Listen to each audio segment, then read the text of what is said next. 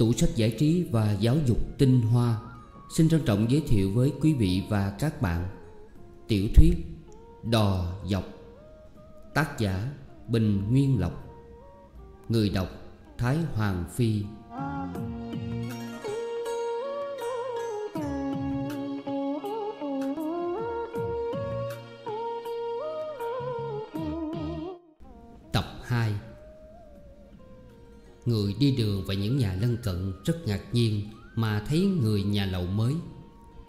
Dùng để gọi nhà ông Năm Thành. Mãi đến lúc mặt trời mọc hai sào rồi mà chưa thức dậy. Thói quen ở chợ họ chưa bỏ được. Và đêm thức sáng trắng vừa qua đã dìm họ vào một cuộc mòn thiếp đi Vào lúc hừng đông. Ông Nam Thành là người dậy đầu tiên. Ông lấy củi gõ vào cột tre nhà bếp ba hồi, ba dùi Theo lối đánh trống nhà quê. Bà Nam Thành và các cô gái đang mơ màng Nghe tiếng mỏ tre ngạc nhiên hết sức. Tỉnh dậy họ vẫn còn ngơ ngác. Mà thấy mình nằm giữa một cái buồn Mà nắng chui vào tứ phía. Giây lát sau họ mới tỉnh hẳn Và buồn cười lắm. Họ nghe ông gia trưởng đứng dưới sân kêu dối lên. Đàn bà hư, con gái hư Thức dậy mà làm ăn chứ Nằm hoài đó sao? Bà Nam Thành vừa bới đầu Vừa ra chiếc thang bắt tại góc hũng nước Nách nhà. Trong khi bốn cô con gái còn chần chờ ở lại Cô Hương lo xếp mình mùng cho cha mẹ Và cho mình. Cô Hồng, cô qua thì tập thể thao. Còn cô Quá thì vật dựa và rên hì hì, Những tiếng rên sung sướng. Thang gác bắt đứng sững, Các bậc thang lại nhỏ xíu, Khiến bà Nam Thành sợ hãi, Đứng đó mà ngó xuống, không biết làm sao. Ông Nam Thành vào tới nơi dòm lên rồi la, Bà xuống thang kiểu đó thì té gãy cổ, phải quay mặt vô trong, Đưa lưng ra ngoài, Y như hồi leo lên. Dán ống quần cao một chút, Kẻo nó dướng. Như vậy, Nhưng à, bước lui chứ không phải bước tới đâu. Coi chừng. Bà Năm Thành làm y theo lời chồng dặn. Bà mập quá khiến chiếc thang mỏng manh kêu lên răng rắc. Mỗi lần thang kêu như vậy, Bà kinh hãi dừng bước mà la. Xuống tới đất bà nói, Thôi đi ông, Tối nay tôi ngủ dưới này. Rồi nó quen đi chứ. Sao ông làm than gì mà quá là than của đại môn tô bay vậy? Ông Nam Thành cười ha hả. Nhớ lại lần đưa vợ đi xem mô tô bay năm ngoái. Bà Nam Thành leo lên đài được nửa thang thì không dám tiếp nữa, Cũng chẳng dám lùi.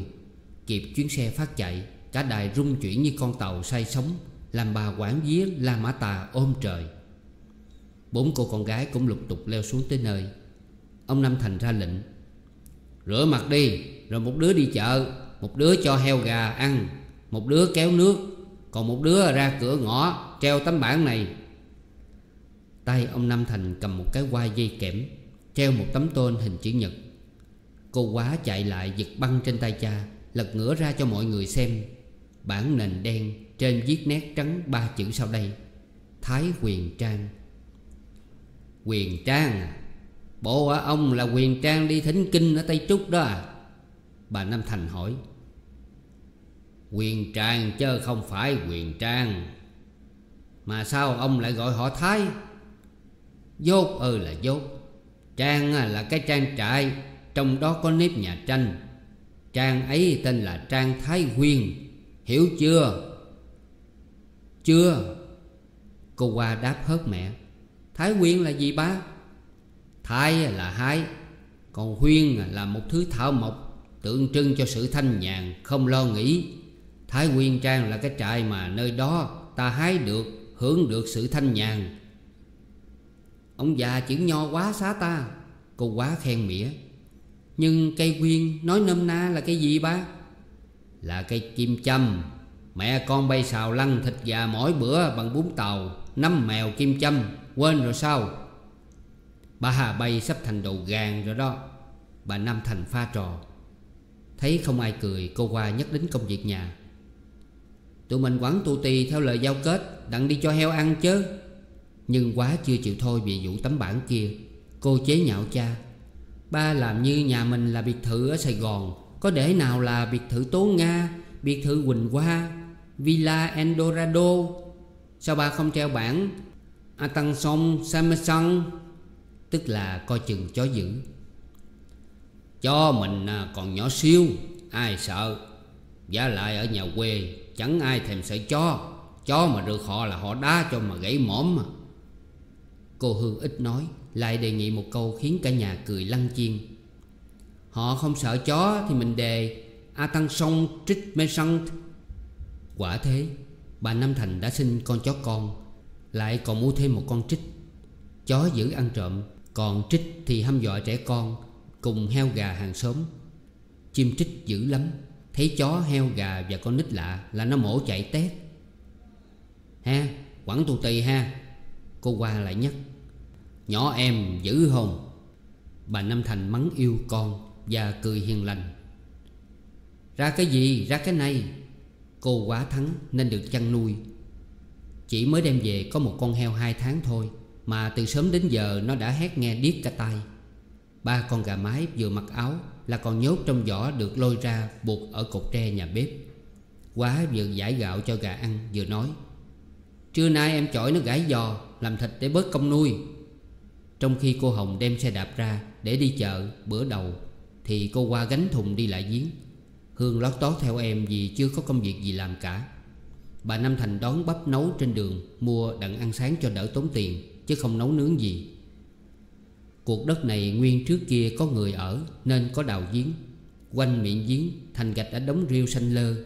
Ông Năm Thành lúc cất nhà có trồng trụ hai bên miệng giếng, Một cây dí ngang bằng gỗ căm xe, Lăn mình trên đầu trụ bằng hai cái mặt đạn xe hơi cũ, Maniquen cũng bằng sắt cũ. Ông lượm đâu đó rồi mướn thợ rèn đập lại. Giải thích, Maniquen là cái tay quay để kéo thùng nước từ dưới đáy giếng lên. Hết giải thích.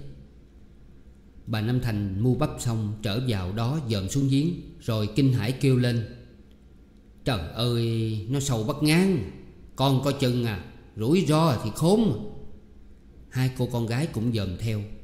Cô qua tuy sợ, Nhưng ngỡ giếng là phải sâu như vậy, Vì cô chưa thấy giếng lần nào.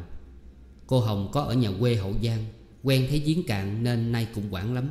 Qua lấy cái thùng trên miệng giếng, Rồi quăng đại xuống. Sợi dây dừa tháo ra mau lẹ Vì sức trì của cái thùng. Maniquen thì quay lia lịa. Dây lâu thùng xuống đụng mặt nước Kêu lên một cái đùng. Bà Nam Thành nói Mày à, cầm dây mà thòng xuống lần lần Chứ làm như vậy à, nội một ngày là cái thùng bể nát à. Vừa lúc ấy ông Nam Thành đến. Bà Nam Thành hát điệu ru con.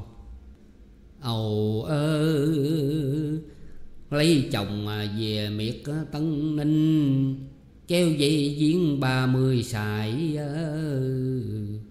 Ầu ơ thất kính ông bà. Hai cô gái nghe câu hát kỳ lạ Cười ngất lên. Tân Ninh à, là ở đâu? Ông biết không ông? Bà hát xong hỏi chồng như vậy. Cách đây không xa lắm. Hôm cất nhà Người trong xóm có rủ tôi đi Tân Ninh Ăn thịt nhím một bữa.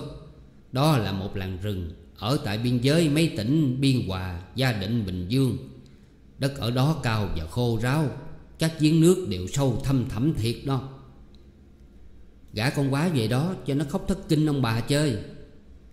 Câu nói đùa không đâu của Hương Bỗng không hiểu sao, Làm cho bà Năm Thành buồn vô hạn. Bà nhìn lại hai đứa con gái đang có mặt, Rồi lòng thương con của bà như lộ ra hết Nơi hai mắt của bà Bấy giờ như muốn ứa lệ. Cô Hồng đạp xe máy về đến cửa ngõ. Bóp chuông kêu ôm lên. Con chó mới nuôi mà đã biết chủ. Chạy ra ngoắt đuôi một cách dụng dại, Rồi nhảy bổ lên, cào quần áo cô gái đi chợ về. Cô Hồng cầm tờ nhật báo tinh xương, Phất phất lên rồi nói lớn. Xe hơi đụng trước nhà mình, ở Ô Ma. Thấy báo, cả nhà mừng như gặp lại Sài Gòn.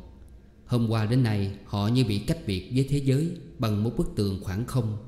Họ đói tin tức mọi nơi, Nhất là tin Sài Gòn, Nhưng lại quên mất báo. Sáng kiến của Hồng đem tươi sáng và hy vọng trở lại lòng họ. Ông Nam Thành giật lấy tờ báo trên tay con, Rồi banh ra đọc ngay giữa sân trong nắng sớm. Kháng chiến Algeria tăng gia hoạt động vô cùng mãnh liệt. Hội nghị Colombo ấp khai mạc.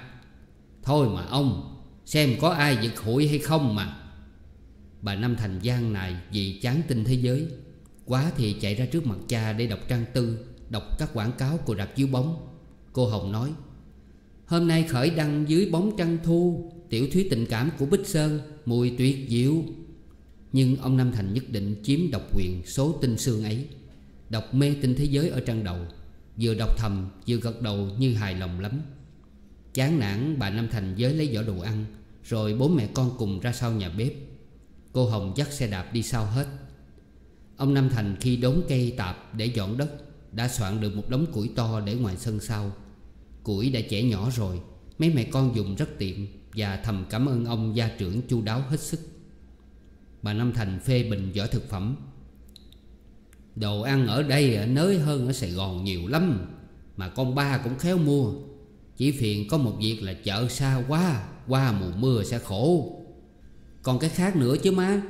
Khúc đường gần chợ thì quanh co như ruột dịch Mình đương đi bỗng đâu Một chiếc xe cam nhông lù lù hiện ra, Thấy hết hồn. À có hồ tắm tụi bay ơi. Mặc sức mà lội, Vì không có ma nào tắm hết. Xì, Đừng có mong mà tắm. Ba mày có cho đâu. Về nhà quê, con gái mà đưa đùi đưa ngực ra, Họ cười cho mà thúi cái đầu. Cô quá trề môi, ẹo cổ, Nhõng nhẽo như lúc bé mẹ cấm ăn quà. Vậy chứ họ xây hồ tắm làm gì? Làm gì mặc họ? Họ xây cho đàn ông con trai chúng nó tắm chứ có xây cho bay đâu. Cái gì lần đầu và lần chót, Người ta cũng làm cho trịnh trọng ra cả.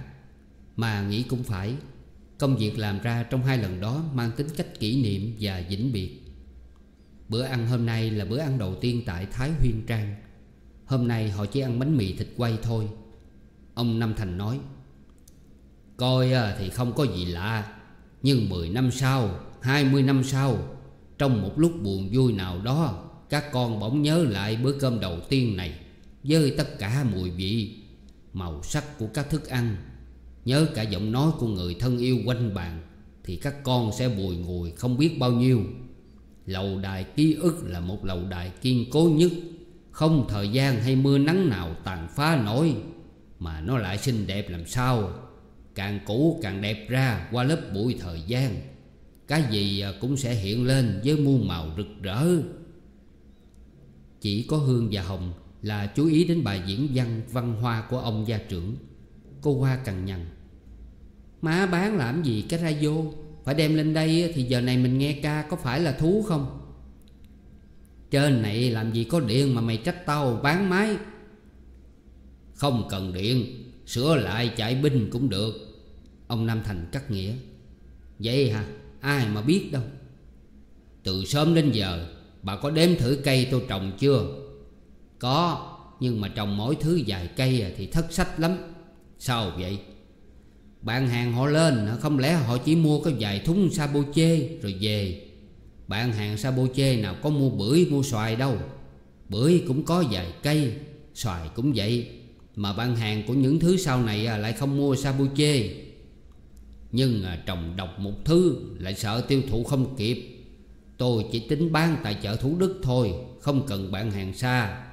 Còn về phần hàng bông à, rau cải, Để sống sắp thời bây giờ thì giao cho bà đó. Ba à Sao dưới mỗi gốc cây ba đào lỗ làm chi? Sâu dữ vậy? Bày quét nhà, quét sân, Có rác cứ đổ xuống đó. Đã tốt cây, lại chắc gốc. Trồng như vậy trúng cách lắm đó. Hương nói, Thích quá, Có sẵn một cây mít thật sai, Một cây me cũng sai Và một cây chanh rất mỏng vỏ. Cây mít có lợi nhiều thứ à. Rồi ba sẽ nuôi dê bằng lá mít, Dê đẻ nhiều, Lại cho sữa tươi rất bổ. Ông à, tính rào miếng đất này lại hay không? Không rào sao được, Nhưng rào bằng gạch thì ta không đủ tiền, Rào bằng gỗ cũng mất đi hai vạn bạc. Để rồi à, tôi trồng xương rồng, Rẻ nhất mà lại chắc nhất. Không con gì à, vô lọt hết à. Phía trước mặt tiền à, không sợ trâu bò tuôn phá. Mình sẽ trồng bông bụp, coi cho đẹp. Phần con Hương thì vẽ họa đồ, vườn hoa nhỏ. Nó có ốc thẩm mỹ lắm. Rồi ngoài việc làm bếp nó trồng bông hoa, Chân dọn nhà cửa. Trưa quê đã buồn. Mà trưa ở đây lại buồn gấp mấy lần ở xóm làng. Nhà hàng xóm ở xa quá. Tiếng gà gáy trưa, Tiếng cối đá xay bột chẳng đưa lại, Mơ mơ màng màng, Như là từ dĩ vãng xa xưa đưa tới. Heo gà chó nhà cũng chưa đông đúc, Cho dân số Thái Nguyên Trang được sầm quốc Hầu đỡ tẻ lạnh. Cây cối còn lùng bân Mặc sức cho nắng đổ xuống giường, Cái thứ nắng hè buồn, Một nỗi buồn tẻ và chết như nỗi buồn sa mạc. Cho đến cả xe cộ ngoài đường cũng a tùng để tăng thêm cái buồn trưa nắng. Bao nhiêu xe nhà, xe du lịch rộn rịp trên đường thiên lý khi sáng Bây giờ đã rút lui đi đâu mất hết. Chỉ còn những chiếc cam nhông tiền sử Hỗn hển kéo những rờ mọc gỗ. Khúc gỗ nào cũng như một thây người Vừa bị lột da Và những bành cao su sống phết vô trắng Chói lòa lên dưới nắng hè. Con đường nhựa không đen nữa Mà tím sẫm xuống như một băng lụa Dắt ngang dòng hoa tan bằng cườm Trong các đám phúng điếu. Người trong trang Thái Quyên nghe lạ lạ trong người Mặc dù trời nắng gay gắt và nóng hầm, Họ vẫn không thấy buồn ngủ. Giấc ngủ trưa của họ trong 10 năm nay Không sai chạy bữa nào. Sau bữa ăn đúng ngọ, Nhưng hôm qua bận dọn nhà quên buồn ngủ Thì không nói gì. Còn hôm nay đã rảnh rang rồi, Sao mà Không ai buồn lên gác cả. Gia đình tụ họp nơi buồn tiếp khách, Ngồi lặng thinh nhìn cam nhông mui lá dài nhoằng, Quể quải bò như con trâu già mệt nhọc kéo xe rơm khô. Tuy chở nhẹ vẫn không muốn bước rồi à, phải bày ra công việc gì để làm vào giờ trưa mới được? À? Ông Nam Thành nói Ngồi không như vậy mà nhơi những nỗi buồn xa ở đâu đâu á Hại lắm mà. Chừng cây lớn có trái chắc làm không hở tay đâu ba. Hay à, là các con làm mứt? Bà Nam Thành thử đề nghị Me, chanh không thiếu gì Làm mứt để dành ăn tráng miệng mỗi bữa Với lại để dành đãi khách Vườn nhà chưa có món gì ăn được. Có khách xa đến lấy gì làm vui miệng người ta? Phải rồi, Mình hứa đãi anh bằng trái cây, Không lẽ lại cho ảnh ăn me chua?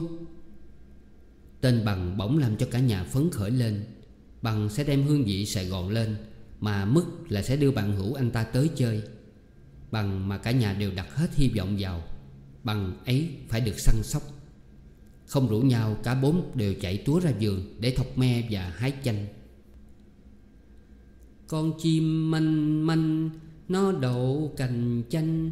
Tôi giác miệng thành Tôi chọi chết dậy Tôi làm bẫy mâm, Tôi dưng ông ăn. Ông hỏi chim gì, Tôi nói manh manh, Nó đậu cành chanh. Tôi giác Ông Nam Thành bày ra tục ăn cơm tối Thật sớm Để tránh cho các con ông cái khổ rửa chén dưới ánh đèn lu mờ mà ngọn đèn cứ sao xuyến trước gió Chật tắt lúc nào không biết chừng. Sàn nước rửa chén đặt giữa trời.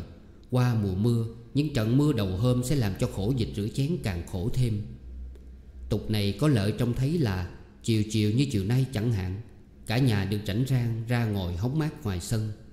Cô Hương nhớ cảnh hái me, Hái chanh rất vui hồi trưa, Nên hát lên bài hát nhà quê trên đây. Hát dứt bài, Cô đố các cô em gái Tao đố tụi bay hát được một bài hát khác Mà có tính cách như vậy. Là tính cách làm sao? Là câu chót nói trở lại câu đầu, Liên hồi bất tận, Hát được hoài không bao giờ dứt cả. À cái đó là dòng lẫn quẩn. Em hát được. Quá nói mà mắt tranh mảnh nhìn chị. Thì hát đi. Nè. Bậu lỡ thời như ớt chín cây ớt chín cây người ta còn hai Bậu lỡ thời như nhai lột da, Nhai lột da người ta còn bắt. Bậu lỡ thời như giặc hà tiên, Giặc hà tiên người ta còn đánh. Bậu lỡ thời như bánh trôi sông, Bánh trôi sông người ta còn vớt. Bậu lỡ thời như ớt chín cây, Ớt chín cây người ta còn hai Bậu lỡ thời như Lần thứ nhì, quá mỉa cảnh muộn chồng của các chị cô Bằng bài hát ám chỉ ấy. Cái con út này, Bà Năm Thành nói, Cô à, đừng có kiêu ngạo người ta. Lo thân cô thì hơn. Người miền Nam ta thường dùng sai tỉnh từ kiêu ngạo. Ý bà Nam Thành muốn nói chế nhạo hoặc nhạo báng Đã bảo gia đình này rất cởi mở về việc chồng con. Bà Nam Thành vô ý thức nhưng hay lỡ lời. Còn ông thì hiểu rõ sự cởi mở ấy rất có lợi. Ông dí nó như một cái súp bát Giúp cho con ông thoát khỏi bệnh đè nén. Bệnh dồn ép tình cảm rất nguy hại, Nên ông ngầm khuyến khích sự bộc lộ tâm tình. Ba chị lớn là kẻ luống tuổi không bao giờ hờn giận cô em út cả. Họ cũng chẳng thèm đếm xỉa đến những lời đùa cợt của cô ta. Nhưng chiều hôm nay, Trong cảnh quan du của Thái Huyên Trang, Đứng lẻ loi trơ trọi giữa cánh đồng, Họ bỗng bị ý nghĩ mà quá vừa gợi ra, Làm họ khó chịu. Bân khuân mà họ cố dẹp được lúc ở thành náo nhiệt, ồn ào, Bây giờ lại dâng tràn lên. Trên con đường nhựa dài chạy ngang trước nhà, Các loại xe hơi nối đuôi nhau mà bò. Càng xa càng thấy chúng nó bò chậm như rùa. Để đổi vui không khí. Ông Nam Thành chỉ đánh xe xuống mà nói, Xe này à, ở Vũng Tàu về? À. Xe này từ Nha Trang vô, Chắc à, cũng có xe quê chứ. Sao ông biết rõ như vậy? Bà hỏi. Không cần thầy bói cũng đoán được. Hỏi vậy chứ còn xe ở đâu mà xuống đây nữa? Nếu không ở các chỗ đó, Ta ở giữa đường thiên lý mà.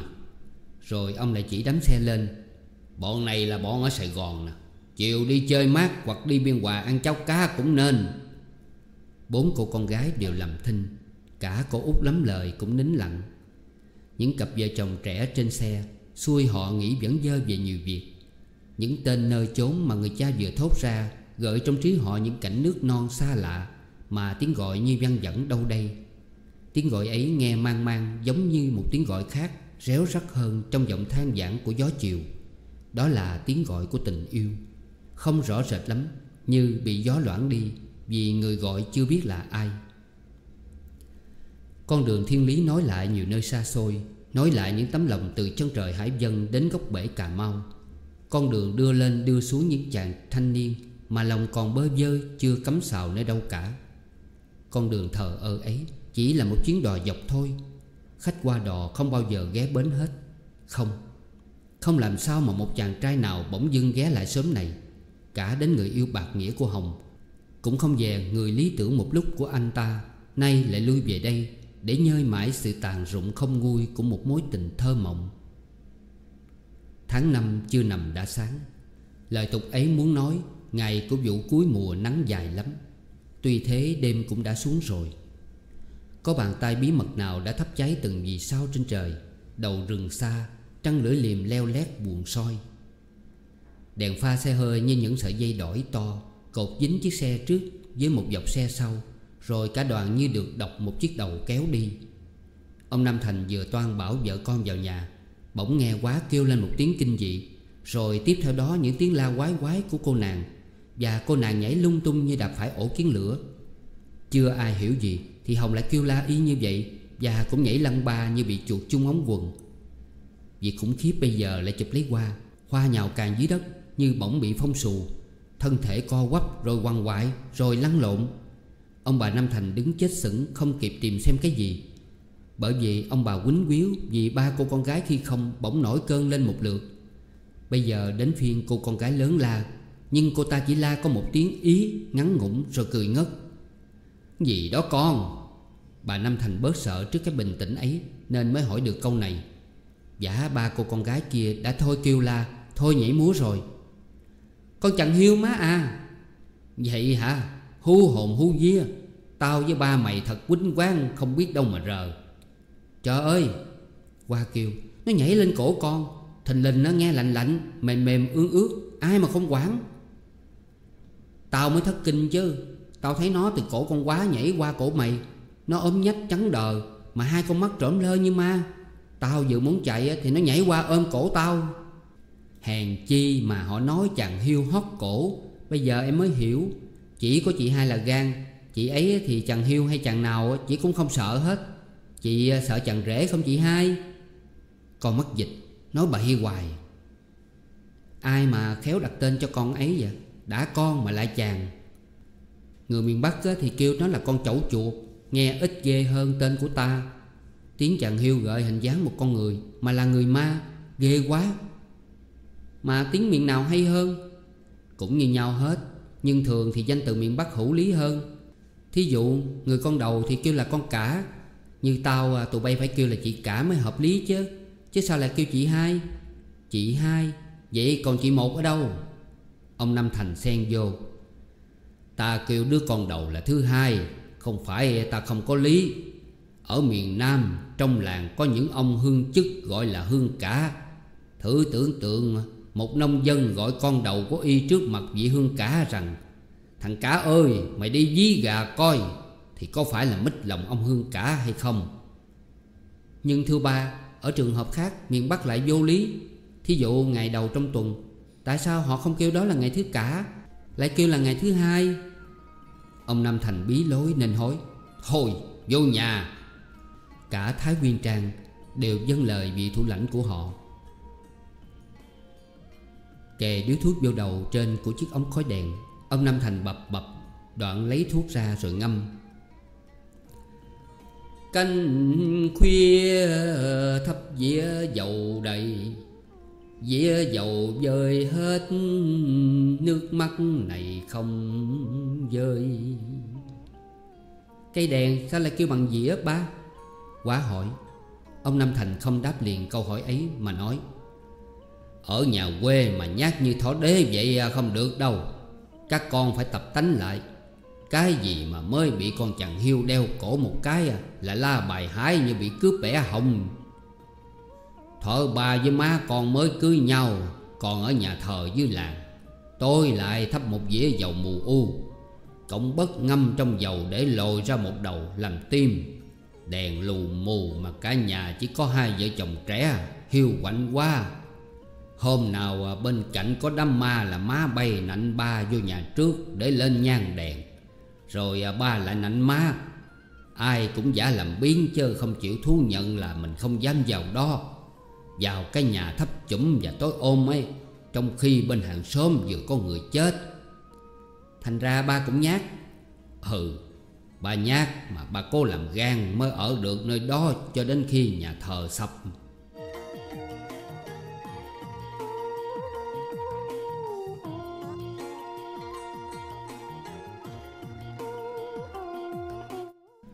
Những lúc rỗi việc, Hoa và Quá thích đi thám hiểm dùng quanh nhà. Lập vườn mới, Ngoài việc kéo nước tưới cây, Chưa có công việc nhiều. Heo gà cũng chỉ mới lưa thưa vài mươi con thôi. Nên họ có rất nhiều thời giờ rảnh rang. Sớm trên đông được bốn nhà tranh và hai nhà gói, Trừ bác lò rèn ra còn là nông dân cả. Sớm dưới toàn nhà ngói không thôi, Nhà chỉ nho nhỏ thôi, Bên trong chân dọn rất đơn sơ trống trải. Sớm trong rất sầm uất, Đâu trên hai mươi nhà Tranh ngói lẫn lộn. Họ đọc tiểu thuyết thì thấy tả nhà quê rất nên thơ, Nhưng có lẽ đây là vùng khô khan hay sao, Không biết. Mà hai chị em tìm mãi không gặp hồn thơ đâu cả. Nhà phần đông không thèm rào lại Ranh giới giường không có Nên khó phân biệt đâu là đâu. Các chủ nhà không thích hoa kiển Nên sân nào cũng trống trơn Phơi bày một bãi cát trắng. Vào lúc nắng trưa trông mệt mắt Như đứng trong sa mạc. Họ có trồng chút ít cây Mà toàn là thứ cây buồn Mít, mãng cầu và ổi. Các loại cây ấy không buồn được một cách thơ mộng như liễu rủ bên hồ. Mà buồn một nỗi buồn cằn cỗi, nghèo nàn. Ba loại cây ấy ưa đất khô Nên hình dáng nó cũng khô khan. Gà heo không có trong chuồng. Chúng đào ao khắp nơi Bươi tung lên tất cả các đống rác Những dựa phân bò. Người ta Trai thì thân thể không nở nang như lực sĩ Điền Kinh Gái thì cũng rất khác xa Hình ảnh các cô thôn nữ yêu kiều trong tiểu thuyết. Thật ra tất cả những cái ấy đều mang thơ Nhưng đó là những bài thơ giận trắc, khổ độc những bài thơ tả thực không cần thi vị quá cái gì hết. Những bài thơ ấy có vẻ đẹp riêng của nó. Cả đến những dơ bẩn, Những cảnh sơ rơ héo xào cũng đẹp được. Nhưng lạc hướng biết bao, Tưởng tượng một đàn mà thực tế là một ngã. Bữa nào có Hương đi theo thì cô ta giảng giải. Đồng quê ở đây khác xa đồng quê Tiền Giang và Hậu Giang. Hai nơi đó cũng khác nhau khá bộn. Ở đây đồng bằng Nhưng lại là đồng khô cỏ cháy. Nên không đẹp hùng mạnh, quyền bí và mang rợ như núi rừng. Cũng chẳng đẹp vẻ đẹp tối lạc sinh Của đất phì nhiêu dưới kia.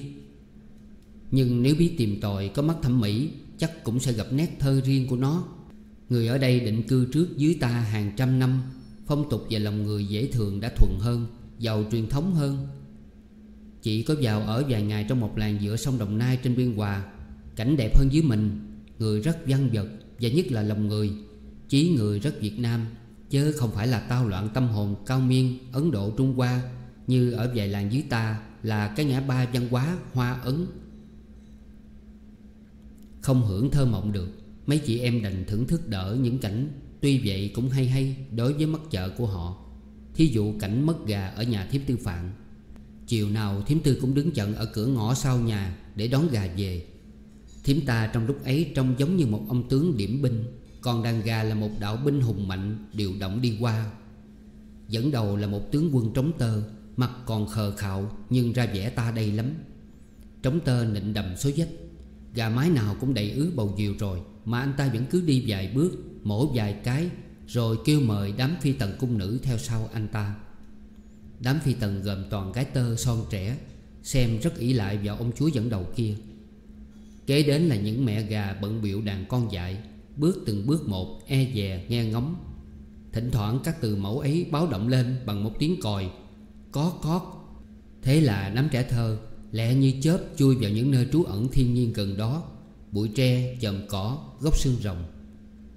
Sau đàn hàng không gà hạm ấy Đến những chú gà tơ mới mặc áo lá chưa thỏa mãn một ngày nô đùa Nên chần chờ lọt lại đằng sau. Vừa về ổ vừa rượt nhau đánh nhau túi bụi. Đi hậu tập là một lão tướng chống già Quai phong lẫm liệt, Dũng khí đằng đằng Đuôi dài chấm đất Mồng đỏ như hoa bản hạ. Y giáp lão tướng là một cuộc múa rối màu sắc. Vì lão ta vỗ cánh, Thì thú vật trong cả sân nhà đều khiếp vía.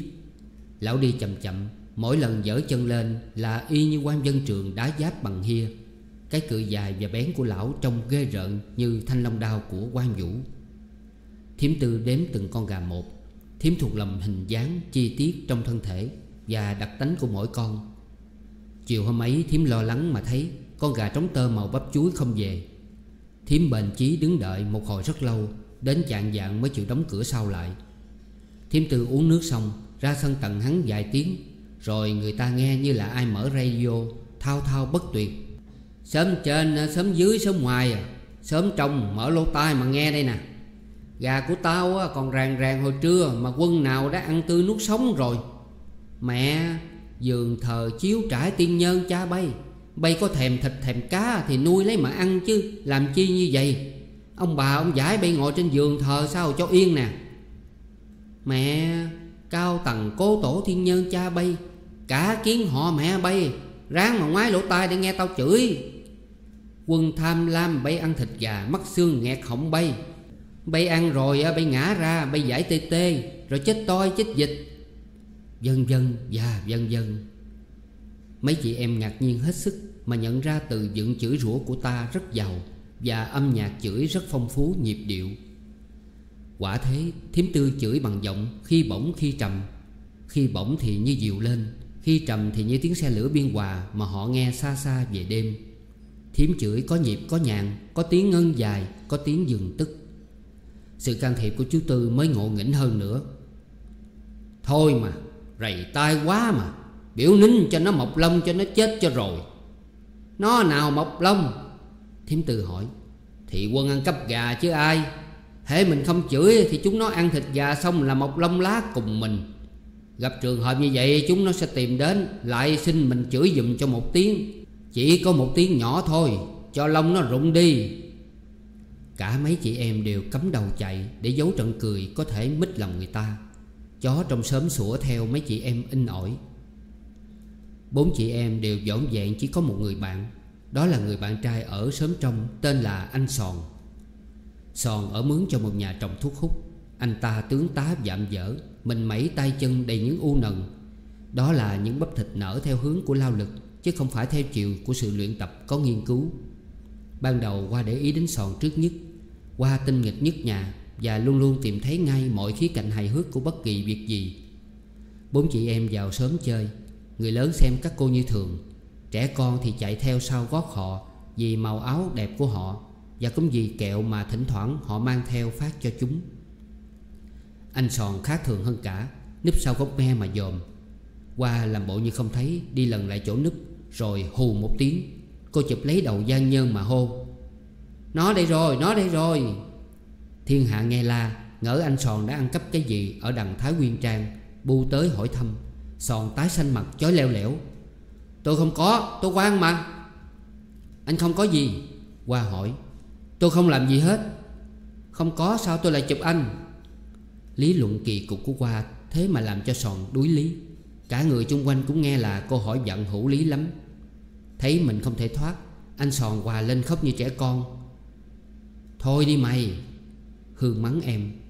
Mày ác làm chi tội nghiệp người ta? Quá bước lại kéo tay anh thở tưới thuốc mà rằng, Thôi, tha anh lần này đó. Sòn đột ngột cười khang, Nước mắt nước mũi còn chầm ngoàm Cả sớm không ai hiểu sao cả, Đoán rằng Sòn quả có gian thật. Từ đó ngày nào họ cũng đi thăm anh Sòn Đi thường nhất là cô Hoa. Hoa theo anh Sòn ra mấy đám thuốc, Xem anh ta kéo cần giọt. Dùng đó cánh đồng sau sớm ở xa Trong mường tượng như một hải cảng Chi chích cột bườm Cần giọt giống như cột bườm Mà chiếc bườm xếp xong máng nghiêng trên đầu cột. Sòn kéo nước giếng, Nhưng kéo xuống chứ không kéo lên. Cần giọt là một hệ thống đòn bẩy Mà điểm tựa là đầu cột. Sức mạnh là sợi dây treo thùng Và đối lực là phiến đá treo ở sau đuôi đòn. Sức mạnh trong cầm giọt có được là nhờ sự trì sợi dây xuống cho thùng múc nước. Công việc chỉ có thế, Rồi người kéo cứ để cho phiến đá làm công việc còn lại. Hoa rắn mặt đeo vào phiến đá, Cỡ sòn ráng xuống một chút là trì dây xuống được ngay Và Hoa sẽ bị dở hỏng lên trời. Chính nàng muốn được như thế để nghe như là đi máy bay. Nhưng sòn không bao giờ dám cố sức mà trì cả. Hoa biểu thế nào anh cũng chẳng nghe. Hoa hỏi anh Sòn Tại sao anh sợ tôi dữ vậy? Sòn chỉ cười hì hì như bao giờ. Anh ta không hề cắt nghĩa được cái gì cả. Phương Chi đó lại là câu hỏi khó của một người con gái mà anh thấy đẹp như tiên. Hương thường mắng em. Mày nhiễm trống mái rồi hả? Con gái giàu sao cũng phải nết na một chút chứ. Thật ra thì không phải vậy. Cô Hiền trong nước Việt Nam có lẽ chỉ có một Hay không bao giờ có cả. Qua thấy anh Sòn lù khù. Theo phá chơi vậy thôi. Chưa bao giờ cô nghĩ đến cái đẹp về thân thể của Sòn Cái nghề con gái không chồng Thì nó trẻ rất lâu Và cũng trẻ con rất lâu. Quá nhảy lên cỏ một cái thật lẹ, Rồi dây mặt ra đường, sừng sổ hét. Người ta đã nhảy lên lề rồi mà còn muốn cán người ta à? Người tài xế như nghe lời phản đối ấy, cúi đầu chào bốn chị em một cái, Vừa chào vừa mỉm cười như nói, Biết rồi các cô là gái Sài Gòn mà, Bảnh lắm mà. Lỡ một chút cũng làm dữ. Thỉnh thoảng chiều chiều, Bốn chị em lại dắt nhau đi trên đường nhựa. Khi thì xuôi về hướng Thủ Đức, Lúc lại ngược lên hướng Biên Hòa. Trên đường xe qua lại, ai cũng lấy làm kỳ. Sao ở xó quê lại có gái xem ra người tỉnh thành? Họ mặc bà ba thì tức là người trong xóm, Chứ nào phải người Thủ Đức lên. Họ đi dạo mát, Nhưng riêng cô qua, Cô lại có mục đích thứ nhì nữa là gặp Quần. Con của Hương Cả Quang. Quần là một công tử nhà quê, Hạng người mẫu. Vì ở gần thành phố quá, Mặc dầu thành phố ấy chỉ là một quận lỵ, Công tử Quần lại mang thêm một cố tật, Dĩ nhiên là muốn thành người thành thị. Thành không được, Quần lai căng một cách dị hợm Với những bộ đồ pyjama màu hường, Màu xanh lá cây Mà cậu mặc mãi từ sáng đến tối, Từ trong buồn ra đến quận lỵ. Nếu anh Sòn nhìn các cô Thái Nguyên Trang Như một con trùng si tình, Một ngôi sao trên trời, Thì công tử quần có thái độ của một con gà lôi trống Tò về mấy con công mái trong sân nhà. Từ ngày sớm tiếp nhận nữ khách mới, Thì cậu sức nước hoa chế tạo ở chợ lớn Và nhét mù xoa nhỏ Có theo chéo xanh xanh đỏ đỏ Trên miệng túi pyjama. Cậu diễn thêm một cây đàn băng cầm, Cứ chiều chiều sách nó ra đường, Không khải vì chưa biết chơi. Nhưng cắt nghĩa lưu bù về nhạc cụ ấy Với đám trẻ con bu quanh cậu. Lần đầu chạm mặt, Cô Hoa rắn mặt của chúng ta nghĩ ngay đến Việc biến công tử thành nạn nhân Của tánh nghịch ngợm của cô. Anh Sòn là người cô mến, Nên cô đùa anh ta, Cô cũng chỉ đùa hiền hiền chơi vậy thôi. Đến như gã pyjama hường này Thì cô quyết không tha. Trong cái lần đầu ấy, Thấy quần liếc lén mấy chị em Khoa tấn công ngay. Chào cậu hai.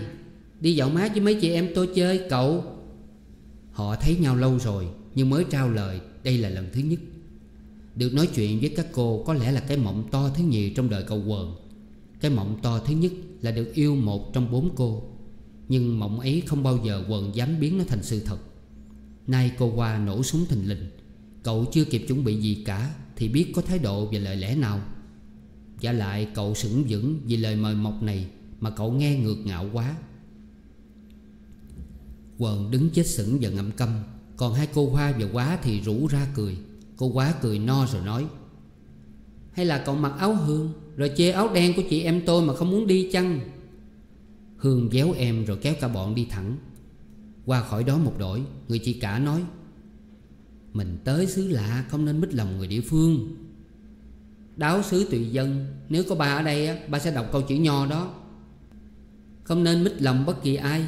Huống chi người ta là quan quần, Chứ không phải dân giả chi đâu. Quá lại tiếp lời răng của người chị cả, Nhưng lại chơi chữ ở đoạn sau. Hồng nói, Làng Linh Chiểu này ngày xưa chắc có một vị hương chức Hay một ông cai tổng gì đó tên là Quyền. Sao chị biết? Nếu không, ông cả quan ổng đâu có kiên chữ Quyền Mà đặt tên cậu ấy chạy ra là Quần. Bốn chị em đã đi gần tới nhà ông cả quan. Mỗi khi sau lần sượng trân lần đầu Quần bỏ chạy khi thoáng thấy mấy chị em đằng xa. Lần này cậu ta bận gỡ chiếc gai dính vào dép Nhật Bổn mới mua Nên không thấy bọn Thái Huyên Trang đến. Chừng nghe động Dây lại thì đã trễ quá rồi Không cút kịp nữa. Quần mặc pyjama bằng giấy uống màu xanh lá cây Đầu chải Giantin chợ lớn sực nứt mùi chanh Cổ đeo dây chuyền vàng khè tay nặng trĩu nào lắc vàng, cà rá vàng Và đồng hồ cũng bằng vàng. Anh công tử giường chào bốn cô theo lối kẻ dốt, Nghĩa là hất hàm lên như muốn hỏi. Ê, đi đâu đó? Cô qua nói. Lạ quá, cậu hai. Cũng thời một nước một non mà, Chúng tôi thì cúi đầu xuống để chào, Còn cậu thì lại hất đầu lên. Không biết lối chào nào trúng cách đó cậu. Quần không thấy là bị hỏi giận Tự nhiên đáp. Dân chào quan Nữ chào nam thì cúi đầu là phải, Còn ngoài ra Vậy chị em tôi phải cúi đầu đến hai lần, Vì cậu vừa là nam, vừa là quan, Hay con quan cũng thế. Tía tôi đã từ trước lâu rồi. Từ thì từ, Cái gốc quan vẫn còn chứ. Cậu quần sung sướng quá Khi nghe cô gái còn nhận mình là con quan, Mặc dầu cha cậu chỉ là quan trong sớm thôi. Đồ rầy, cậu làm gì cậu hai? Qua lại hỏi. Cũng không cần làm gì. À tôi có tự túc một bầy gà quê kỳ. Coi bộ tương lai quá khứ.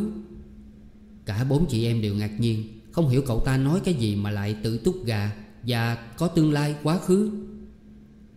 Tự túc là gì cậu? Hương hỏi thật tình. Tự túc là nuôi chứ gì?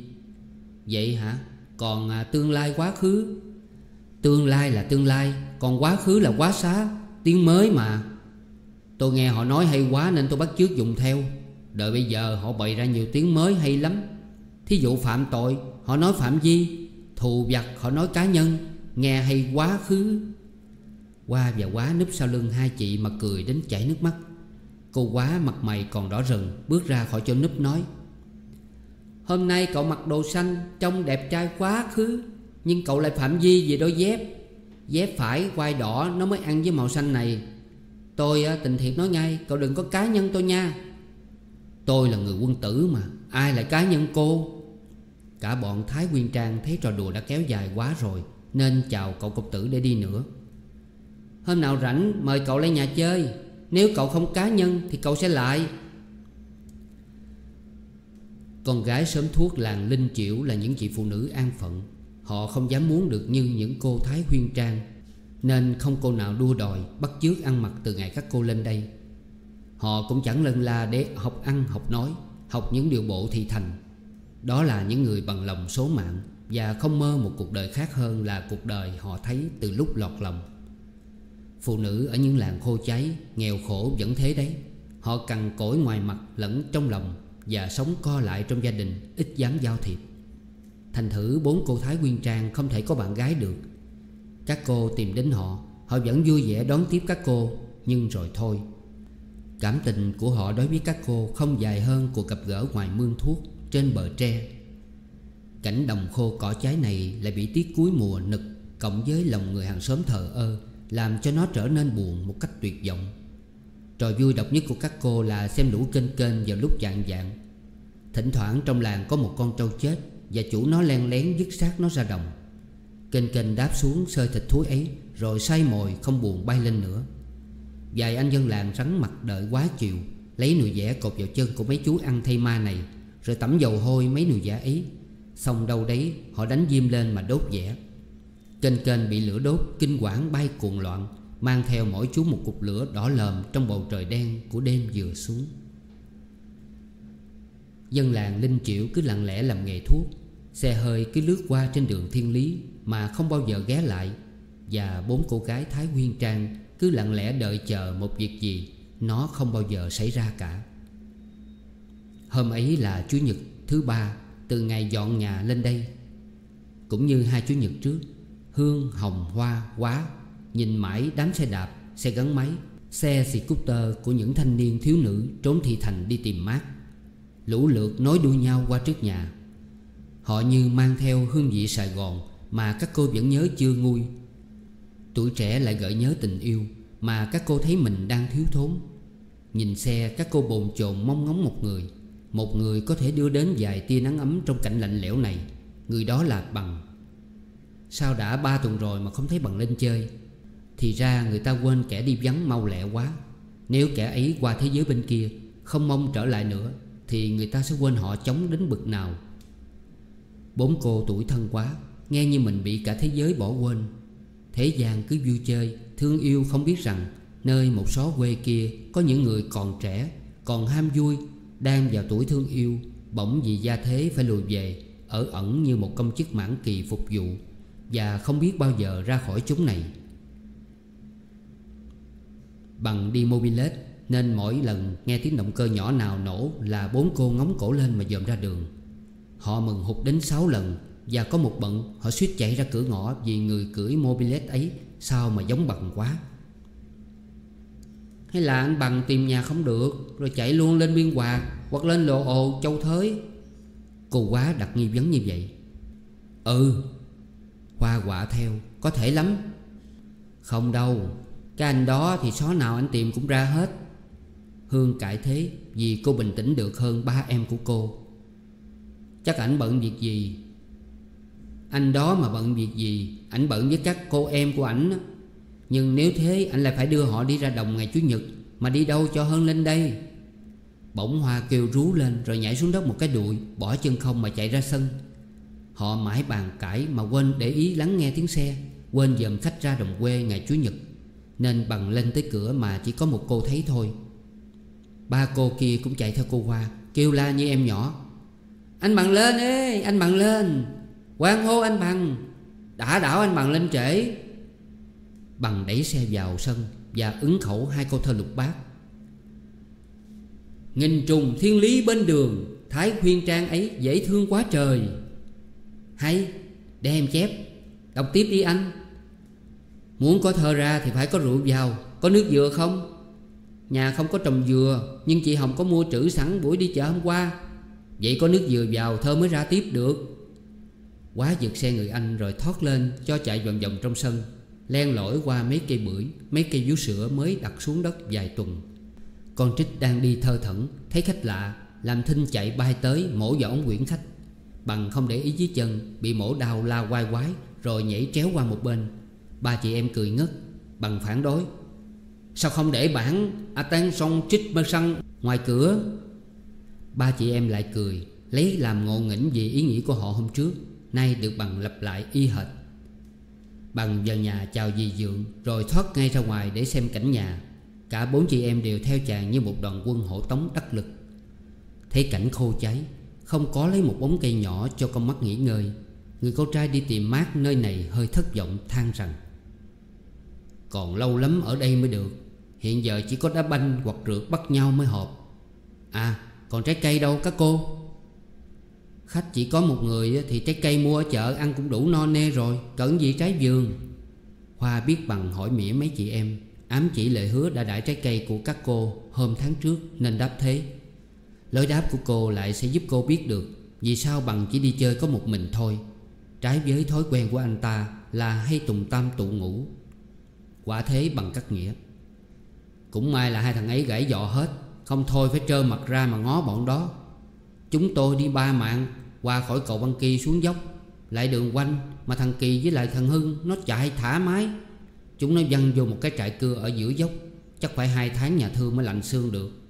Tôi gửi chúng nó theo xe quen về nhà thương bà Chiểu, Rồi lên đây một mình. Bị vậy mà tới hơi trễ. Hai cô gái nhỏ thất vọng ngay Khi thấy bằng đến một mình, Giờ nghe bằng kể câu chuyện tai nạn xe, Họ càng tuổi thân thêm. Lùi về số quên này, Họ chỉ mong có khách đến chơi. Bất kỳ ai để không khí đỡ phẳng lì. Nhưng mỗi một lần khách đến Họ lại bị gãy cẳng dọc đường. Sài Gòn có gì lạ không anh? Quá hỏi. Thì cũng đại nhạc hội Đại siêu phẩm xanh xanh đỏ đỏ Chứ có gì đâu. Còn ở đây có lạ hơn không? Có cậu hai quần mặc pyjama hường Ôm đờn băng cầm suốt ngày. Và có anh Sòn á, lần nào thấy em là cố chui trốn bất kỳ ở kẻ rào nào. Thành ra không ở đâu có gì giật gân cả.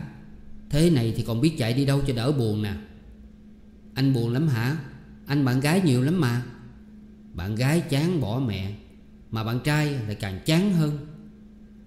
Đó là luận điệu của kẻ giàu sang, Đâm chán tiền bạc. Riêng các cô Các cô thấy bạn gái rất dễ thương, Mà bạn trai lại càng thích hơn. Cô Hồng bỗng nhớ sực ra Rằng mình chưa kéo nước tưới cây Nên hốt quảng nói, Ý chết. Rồi bỏ chạy mất. Cô Hương cũng đứng lên nói là đi lo cơm nước. Bằng và hai cô còn lại thấy hơi buồn, Nên đi lần ra giếng, Là nơi họ thấy Hồng sách thùng tới đó. Bằng hỏi, Các cô làm lụng túi bụi như vậy sao còn kêu buồn? Ấy, Nhờ có công việc suốt ngày nên chỉ buồn vừa thôi. Nếu bị ở không hả, Chắc tụi em trốn mà trở về dưới hết á. Sao hồi ở dưới? Cũng ở không mà không buồn. Dưới ấy ồn quá còn buồn sao được? Cảnh vật chung quanh ta thật là ảnh hưởng mạnh đến tâm trí ta, anh à Ở đây hả, Dầu mỗi ngày có án mạng, Mỗi đêm có cine Cũng vẫn buồn như thường. Lạ quá. Lạ gì mà lạ? Chính anh anh cũng kêu buồn kia mà. Tôi thì khác, Tôi buồn vì tôi sầu tình. Quá cười giòn như nhặt ngựa. Còn em Em buồn vì không có tình để mà sầu. Quá nói nửa đùa nửa thật. Nhưng nếu ai biết tâm sự của mấy chị em của cô, Thì đó là một thú nhận chua chát. Bằng cũng cười rồi kết luận. Thành ra mối sầu của tôi là niềm vui. Không phải vậy, Nhưng thà là sầu như chị Hồng, Chứ còn trống không như chị Hương thì chết được, Chứ không phải chơi đâu. Nhưng à, sao tôi thấy cô Hương rất bình thản? Chỉ có hai cô là kêu buồn liên miệng Bình thản à Có lẽ buồn quá hóa chai chăng? Còn em kêu là kêu giùm chị ấy. Không biết chị qua thì kêu giùm ai. Tao kêu giùm mày đó, Con bé nhiều chuyện. Bằng lên chơi không mang theo gì mới lạ cả. Nhưng chiều lại, anh ra về, Cả nhà buồn hiu. Cả đến thức ăn trong trả, tiên liệu cho ba bốn người khách ăn bữa cơm trưa Cũng buồn vì chỉ có được mỗi một ông khách rờ đến. Sáu người tiễn bằng một đổi xa trên đường nhựa, Rồi bốn cô gái nhìn mãi theo chiếc mobilet. Nó đem người anh họ của các cô về với một nơi Mà các cô nhớ đến nỗi héo hon gan ruột. Hết tập 2 Còn tiếp.